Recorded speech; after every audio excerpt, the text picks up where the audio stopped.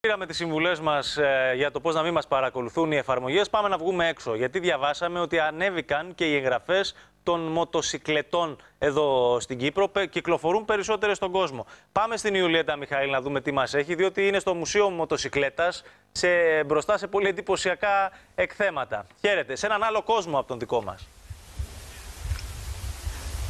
Καλό μεσημέρι Χρήστο κυρίες και κύριοι.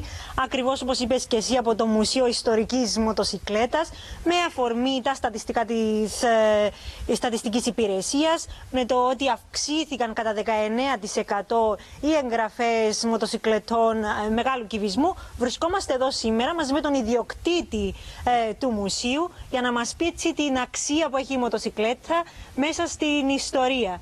Ε, είναι ο κύριος Άνδρος Νικολάου. Κύριε Άντρο μου, Γεια σου, Άντρε. εδώ βρισκόμαστε μπροστά από ιστορικές μοτοσυκλέτες. Τι ακριβώς ε, βλέπουμε; Εδώ είναι ένα μουσείο το οποίο με πολλή προσπάθεια και μόχθον καταφέραμε να δημιουργήσουμε το οποίο τιμά την Κύπρο μας όχι μόνο στην Κύπρο και στο εξωτερικό.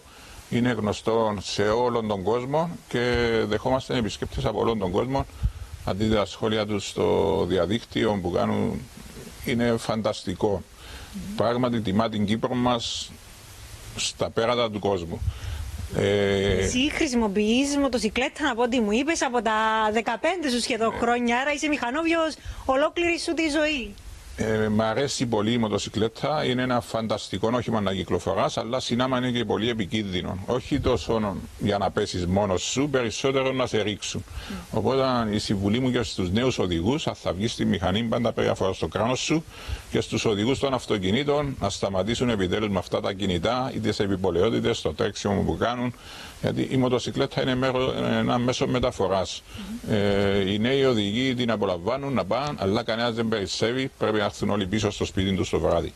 Γι' αυτό θέλει προσοχή.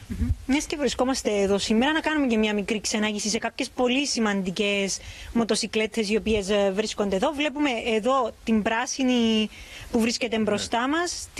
Από ποιον χρησιμοποιήθηκε ακριβώς αυτή η μοτοσυκλέτα; Αυτή είναι πρωταθλήτρια στην Κύπρο για τέσσερα χρόνια. Είναι η μοτοσυκλέτα που ο Τζεκίσα κέρδισε τους αγώνες. Ήρθε στην Κύπρο ο παγκόσμιος πρωταθλητής Τζον Κούπερ μαζί με την ομάδα της BSA. Θα βλέπετε στις φωτογραφίες ότι βράβευσαν τα κύπελλα όλα που κέρδισε. Κάποια είναι εδώ πίσω από τη μοτοσυκλέτα, κάποια τα έχω στο σπίτι. Και ιστορικά κοιμήλια να προχωρήσουμε έτσι προς τα αριστερά μας. Ε, μοτοσυκλέτες οι οποίες χρησιμοποιήθηκαν από αγωνιστές ε, της ΕΟΚΑ. Βλέπουμε τους Στυλιανού Λένα. Ε, τι ακριβώς, ε, από ποιους Είναι η χρησιμοποιήθηκαν. μοτοσυκλέτα τους Στυλιανού Λένα. Με αυτήν κουβαλούσε ενόπλα και πυρομαχικά στον αγώνα του 55-59.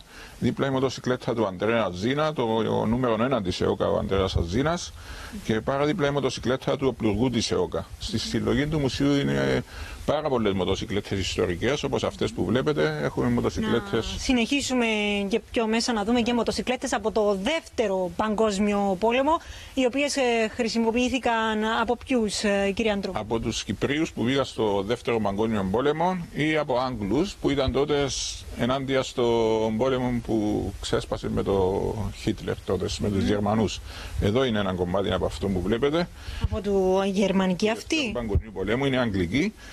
Σε μια άθλια κατάσταση που την βρήκαμε και την επαναφέραμε ξανά στη ζωή, αλλά κρατούμε το ιστορικό της κομμάτι. Μάλιστα. Πώς βρίσκεται ακριβώς αυτές τις μοτοσυκλέτες, Βλέπουμε εδώ οι μοτοσυκλέτες του Δευτέρου Παγκοσμίου Πολέμου. Πώς Ναι. είναι- ακριβώς τις βρίσκεται; Ε, αν δεις πως τις βρίσκουμε θα νομίσεις ότι είμαστε σε τρελοκομείο για να τις ξαναεπαναφέρουμε. Αλλά κάθε τι στοιχίζει και θέλει αγάπη για να αναπαλαιωθούν. Αυτό το συγκεκριμένο κομμάτι είναι του Δευτέρου Παγκοσμίου Πολέμου από τους Γερμανούς, μια γερμανική, και δίπλα μια Harley Davidson από το Δεύτερο Παγκοσμίο Πολέμου τους Αμερικάνους. Πιο πίσω είναι η BSA που έχει γίνει γραμματόσημο για την Κυπριακή Δημοκρατία, η Norton, Triumph και Matchless. Όλες από υπηρέτησαν στο Δεύτερο Παγκόσμιο Πόλεμο. Ακούσαμε τον κύριο Άντρο, βλέπουμε έτσι εντυπωσιακές εικόνες, εντυπωσιακές μοτοσυκλέτες, οι οποίες χρησιμοποιήθηκαν σε πολέμους. Είδαμε και πιο μέσα τη μοτοσυκλέτα η οποία είχε δοριστεί στον ε, φρουρά του Αρχιεπισκόπου Μακαρίου. Εμείς, μιας και βρισκόμαστε σήμερα εδώ, δεν μπορούσαμε να αντισταθούμε. Ε, και θα βγούμε έξω να δοκιμάσουμε και εμείς να πάρουμε μία μοτοσυκλέτα και να δώσουμε και μία-δύο συμβουλές Αλήθεια στους τώρα. οδηγούς μιας και βρισκόμαστε σήμερα εδώ. Πάμε έξω τώρα. Έχει ετοιμάσει εδώ ο κύριος Άντρος μια εντυπωσιακή μοτοσυκλέτα. Μάλιστα. Όχι τόσο παλιά, αλλά είναι εντυπωσιακή για να Μέχρι να δείξουμε και στον ετοιμαστείτε να κόσμο πούμε ότι η ακριβώς μοτοσυκλέτα, πώς το είπατε κι γεμίζει. εσείς ε, προηγουμένως Ιουλιέτα, ότι από μόνος σου δεν πέφτεις αν είσαι σωστός και έμπειρος οδηγός και πηγαίνεις μέσα στα όρια του νόμου έτσι, και της ταχύτητας και προσέχεις. Αλλά είναι επικίνδυνο να έρθει ο άλλος ο αχάπαρος να σε ρίξει, διότι παίζει με το κινητό, δεν προσέχει μπροστά του, τρέχει ή οδηγεί ανεύθυνα για οποιοδήποτε λόγο. Θέλει μια ιδιαίτερη φροντίδα πάντως η μοτοσυκλέτα για να την έχεις και να μπορείς με ασφάλεια να μετακινείσαι. Θέλει εκπαίδευση, εμπειρία και πάρα πολύ μεγάλη προσοχή και αγάπη. Ακριβώς, Χρήστο. Εμείς βάλαμε τα κράνη κάνετε μας και και, θα τέτοια. βγούμε πάνω. Αφήνω το μικρόφωνο να, να δείξουμε στον κόσμο ακριβώς τη διαδικασία. Κράνος βάλατε, κράνος, μπράβο. Και κράνος πάντα. Α, είναι και ο κύριος Δαλίτης εκεί. Άλλη μου. Ο Γιάννης ο Χατζάκης έχει την κάμερα αναχείρας. Πρόσεξε μη σε πατήσουνε, Γιάννη.